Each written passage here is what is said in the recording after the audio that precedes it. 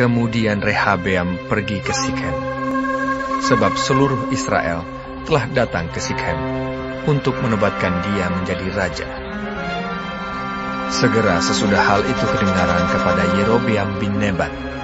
Pada waktu itu, dia masih ada di Mesir, sebab ia melarikan diri ke sana dari hadapan Raja Salomo. Maka kembalilah ia dari Mesir. Orang menyuruh memanggil dia. Lalu datanglah Yerobeam dengan segenap jemaah Israel dan berkata kepada Rehabeam, Ayahmu telah memberatkan tanggungan kami. Maka sekarang ringankanlah pekerjaan yang sukar yang dibebankan ayahmu. Dan tanggungan yang berat yang dipikulkannya kepada kami. Supaya kami menjadi hamba. Tetapi ia menjawab mereka, Pergilah sampai lusa, kemudian kembalilah kepadaku. Lalu pergilah rakyat itu. Sesudah itu, Rehabeam meminta nasihat dari para tua-tua yang selama hidup Salomo mendampingi Salomo, ayahnya. Katanya, Apakah nasihatmu untuk menjawab rakyat itu? mereka berkata, Jika hari ini engkau mau menjadi hamba rakyat, mau mengabdi kepada mereka, dan menjawab mereka dengan kata-kata yang baik, maka mereka menjadi hamba-hambamu sepanjang waktu. Tetapi ia mengabaikan nasihat yang diberikan para tua-tua itu. Lalu ia meminta nasihat kepada orang-orang muda yang sebaya dengan dia dan yang mendampinginya. Katanya kepada mereka, Apakah nasihatmu? Supaya kita dapat menjawab rakyat yang mengatakan kepadaku. Ringankanlah tanggungan yang dipikulkan kepada kami oleh ayahmu. Lalu orang-orang muda yang sebaya dengan dia itu berkata, Beginilah harus kau katakan kepada rakyat yang telah berkata kepadamu, Ayahmu telah memberatkan tanggungan kami, tetapi engkau ini berilah keringanan kepada kami. Beginilah harus kau katakan pada mereka, Lingkingku lebih besar daripada pinggang ayahku. Maka sekarang, ayahku telah membebankan kepada kamu tanggungan yang berat, tetapi aku akan menambah tanggungan kamu. Ayahku telah menghajar kamu dengan cambuk, tetapi aku akan menghajar kamu dengan cambuk yang berduri besi. Pada hari lusanya, datanglah Yerobeam dengan segenap rakyat kepada Rehabeam, seperti yang dikatakan raja. Kembalilah kepadaku pada hari lusa. Raja menjawab rakyat itu dengan keras. Ia telah mengabaikan nasihat yang diberikan para tua-tua kepadanya.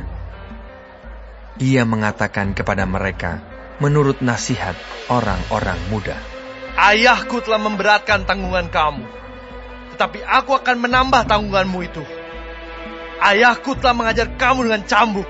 Tetapi aku akan mengajar kamu dengan cambuk yang berduri besi.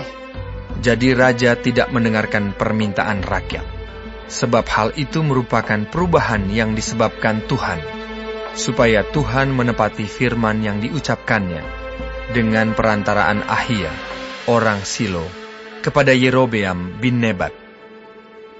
Setelah seluruh Israel melihat bahwa raja tidak mendengarkan permintaan mereka, maka rakyat menjawab raja, Bagian apakah kita dapat daripada Daud? Kita tidak memperoleh warisan dari anak Isai itu.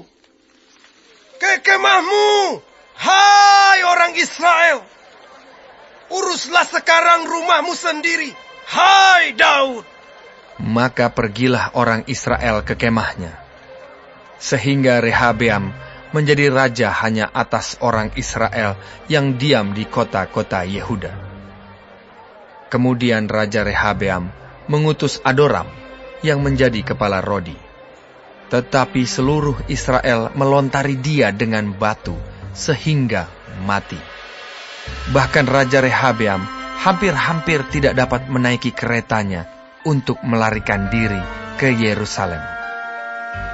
Demikianlah mulanya orang Israel memberontak terhadap keluarga Daud sampai hari ini. Segera sesudah seluruh Israel mendengar bahwa Yerobeam sudah pulang, maka mereka menyuruh memanggil dia ke pertemuan jemaah. Lalu Mereka menobatkan dia menjadi raja atas seluruh Israel. Tidak ada lagi yang mengikuti keluarga Daud selain dari suku Yehuda saja. Ketika Rehabeam datang ke Yerusalem, ia mengumpulkan segenap kaum Yehuda dan suku Benyamin. 180 ribu teruna yang sanggup berperang untuk memerangi kaum Israel dengan maksud mengembalikan kerajaan itu kepada Rehabeam, anak Salomo. Tetapi datanglah firman Allah kepada Semaya, abdi Allah, demikian.